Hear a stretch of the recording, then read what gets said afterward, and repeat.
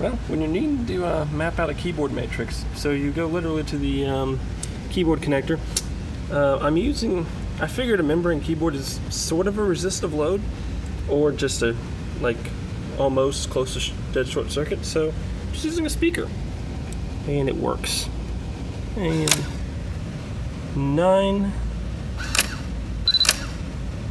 Oop. Okay, we're, oh, that might have been a space. No, okay, I've already got space. So 9 minus 5,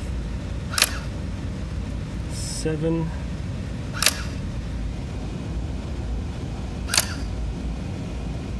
one, nine minus five, seven, three, one, two more to go. Boop, boop. And that's my mapping. Been doing that for everything. And then come over to spreadsheet and yeah. So nine minus, if I can spell right, five, and then I just continue to fill it out. Um, one, I started probing and I didn't get anything, so I figured, okay, I'm going to start, I'll skip over that and come back to it. And then I just started to get everything there.